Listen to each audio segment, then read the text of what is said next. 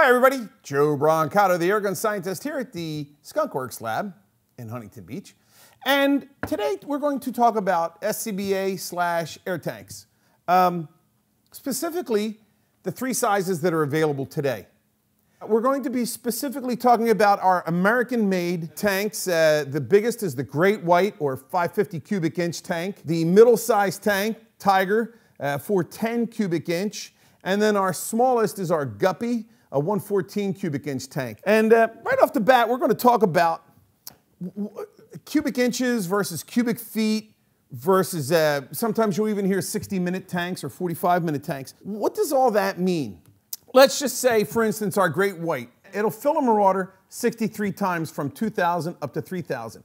How do you calculate that? What numbers do you use? To compute that, you need to know one of two numbers, either cubic inches or cubic feet. And they're not related as much directly as you think. For instance, like the Great White, it's 550 cubic feet. But if you divide that by 12 by 12 by 12, which is a cubic foot, 550 divided by 12, 12, 12 does not equal 97 cubic feet. So where do we get this number, 97.4 to be exact?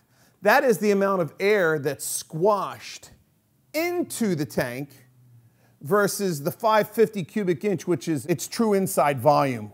We call it water volume because that, that's incompressible. The air volume is compressible. So it's 550 cubic inches of volume in here, but 97.4 to be exact of air is squashed into the tank. And when you do that, it gets up to 4,500 PSI. There's also a third measurement that people often give is minutes. Well, actually, these tanks originated from the uh, breathing apparatus for uh, firemen. If you've ever heard the term SCBA, most people know scuba means self-contained underwater breathing apparatus. Scuba is for underwater. SCBA, or firemen, they don't go underwater. They're just walking around outside. So draw that U out. It's not self-contained underwater breathing apparatus. It's just self-contained breathing apparatus. So that's where SCBA comes from. So that is in reference to the minutes of air that a firefighter would typically have with a tank. 60 minutes with the Great White, 45 with a Tiger. So you can see there's a three to four ratio. If this is a 60 minute tank and this is a 45 minute tank, it's another third, 15 minutes, to get to the great white. That means this gives a third more air for breathing or for, in our case, what we use tanks for only. We don't breathe with them, we only use them for shooting. So that's a third more air for shooting. Typically, the guppy is just given in cubic inches. It's 114 cubic inches. It's about 20, 20.2 uh, cubic feet of air. And it's uh, 12 and a half minutes on a relative scale, 12 and a half, 45, 60. Another way to look at these is if you had a Marauder, which at one time was the most popular gun, this was 63 fills, which is almost equal to a minute, like 60 minutes, remember? Uh, 63 fills. This is 45 minutes. Guess what? 47 fills. Again, a third more. And then the Guppy, 12 and a half minutes, and it's like 13 fills-ish. Basically, you get a, a, a fill for Marauder per minute. Look at the link that we've posted for our calculator to get your gun because some guns are 480 cc's, 580 cc's, and you start using a lot of air. So these fills that we're describing as 63, 47, and 13 for Marauder, uh, mind you, that means they're top offs from 2,000 back up to 3,000, which is the typical for Marauder. Now, if you've got one of our tanks, which are much larger, maybe say for a Daystate, impact, uh, whichever gun uses a bottle, uh, not only do we have larger bottles, but we also have bottles that are higher pressure. Instead of 250 bar, they're 300 bar. The calculator below will show you how many fills you'll get. But just this bottle alone, this is 330, and it's a uh, 300 bar bottle. So that's going to take a lot more air to fill. Again, use the calculator below. So why do we choose to sell USA-made tanks such as the Great White, Tiger, and Guppy? Well, for one thing, they're DOT certified and TC, which is Transport Canada for our friends up north. The second thing is our prices are comparable to the Chinese made tanks. We choose to make less profit and sell an American tank because we want to keep Americans employed. That's a huge thing for us. Another reason is we can guarantee the safety of our tanks. The chain of liability doesn't end with a retailer with our tanks. Instead, it ends with a multi billion dollar manufacturer that makes these tanks. If one of the Chinese tanks were to go bad, I have no recourse, and neither do you. There's no, you're not going to sue China. It's that simple.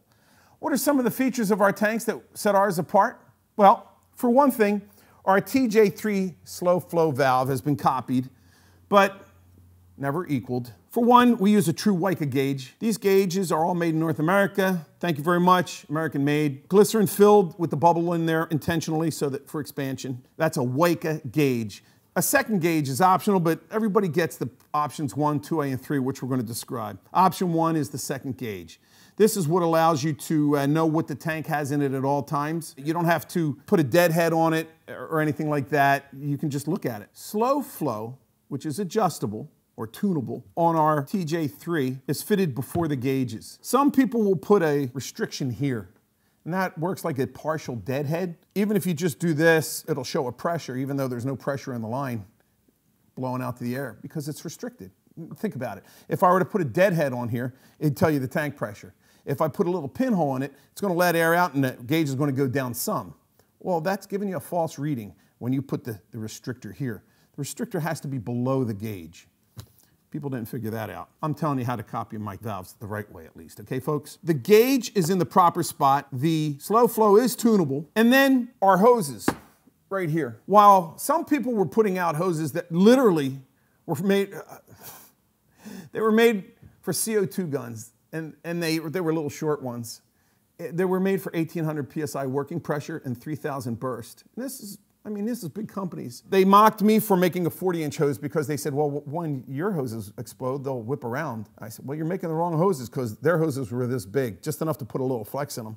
You need to have a nice 40 inch hose because you put this on the gun right here, and it's so easy to use it. I mean, all you do is you just hook it up, and especially with the, uh, the, the, armor package that we can provide, which everybody gets, she stands up, you can see the gauge, you just plug it into your gun, it works great. So that's the way you want to do it. The hose is rated well over 9,000 PSI, working pressure, and triple that in burst. We're talking close to 10,000 working pressure and 30,000 burst, which is literally 10 times what people were using years ago We've never had a, a, hose burst. They're flexible, they have safety, strain reliefs. Our quick disconnects, stainless steel, USA made, just like our gauges are stainless steel. These are stainless steel. Foster brand quick disconnects. We've stuck with them even though their prices have skyrocketed. Our cost, I should say, has skyrocketed over the last, they've tripled in the last two or three years. And when you're buying 20,000 at a time, it's painful. Why do we choose to go with these? They're USA made. We want to stay USA made. Again, we could make a lot more profit selling a Chinese knockoff. We choose not to. Another thing, it's an option, but 100% of the people go for it. It's option number three, is the full armor. Now, the full armor uh, consists of four parts. A carry handle, makes it easy, obviously. Feet that go on the side of the tank here. And that's for when you put the tank down, it doesn't roll away off a desk or when you're transporting it in your car, it doesn't flop around. So you have the carry handle, the feet.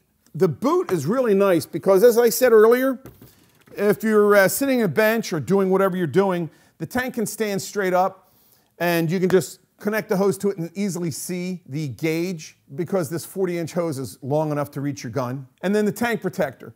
You got a big investment in these tanks, like seven, 800 bucks, folks, with all doodadded up. Protect it with the armor kit and you won't have any problems. Our valves, in addition to the standard 7/8 for the American-made tanks, we do make valves M18 for the European and other tanks, as well as 5/8 uh, valves, which is a guppy size or smaller, like small paintball tanks. So you can have a 5/8, a 7/8, or an M18. And again, we can put the larger gauge on the guppy. It's the same price. Looks kind of somebody. Uh, it reminds me of a, it's just too big. Okay, if you want it on, I'll put it on, no charge. Just let us know before you do, but the, the, this looks okay. Another option that we have, if you have a gun, here's a good example.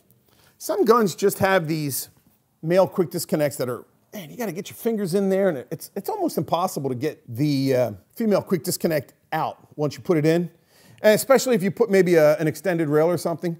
So we have this. We came up with this. Fits right in there like that. And now you can see there's still enough that you can easily grab it and pull it off. Whereas if you just use the standard one, too hard. We offer also the complete valve for a lot of guys have problems with this type of a valve where they have a thumb push, push thumb, something to that effect, I guess you call it. Uh, as the pressure increases, you have to push harder and harder. Uh, that, not so with ours. It's a screw that you turn, so it's not going to get hard enough that you can't turn it. So that's one of the reasons a lot of people will uh, call us up and actually order one of our gauges. Yeah, we can upgrade the gauge on yours if you, if you really want to stick to that. Or if you um, want to go with one that has a true slow flow and a second gauge, ours have that. So I think that's about all the information I can think of right now that you might want to know about these tanks and valves.